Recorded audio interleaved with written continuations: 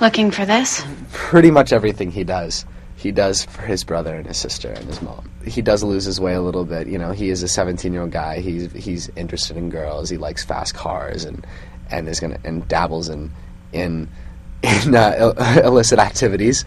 But I really truly think that most mostly everything that he does is is for the protection and the and the help of his of his family. You should have hidden it better.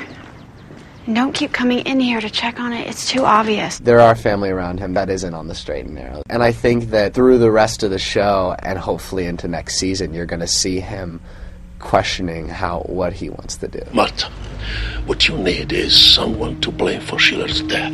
So there will be no retaliation against you. Episode six, he uh, basically asks his grandfather, "Listen, someone hurt my sister. Someone kidnapped my sister. I want to make them pay." And then when he, you know, is exposed to that, and you know, you really see this Russian mafia just brutal beatdown, like tr- like a true. That's the way it really happens, you know. So you just you beat someone to a pulp. Where did you get it?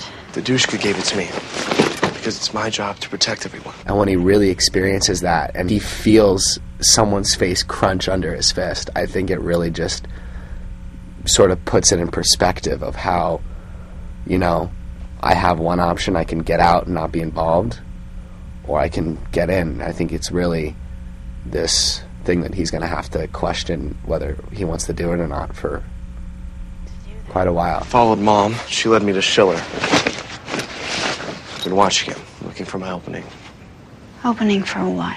I'm gonna shoot the man that murdered dad. I'm gonna kill Schiller.